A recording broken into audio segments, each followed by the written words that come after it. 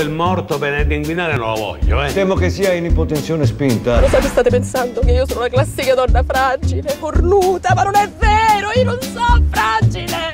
Però sei cornuta. Mamma, ma chi ti ha portato qui? Ma questi chi sono? Sono tre stronzi!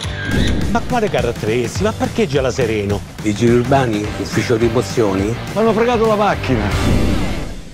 Dai un'occhiata a questa analisi, c'è qualcosa di strano. Ma lui lo sa. Ma Amedeo! Adesso il problema è come dirglielo. Voi cosa dovevate dirmi? Si parte e si va in vacanza. Insieme? Che bel regalo che mi avete fatto! So due ore che giriamo come cretini per far contento a questo. Purtroppo non è una vacanza questa, lo dico a te e lo dico a te. Dimmi quello che mi volevi dire. Che lo chef ha preso una bellissima ricciola. Madonna quanto mi piace la ricciola!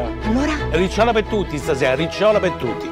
Mi piacerebbe sapere cosa pensate di me. Se vuoi te la dico io la verità su di te.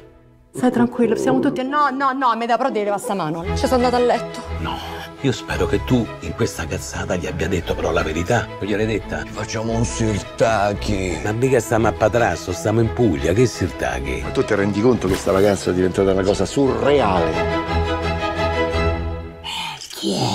Professore. Ma voi siete tutti sozzoni, ma che mi avete messo in mezzo, ma avete? Ma volete far fare un dog?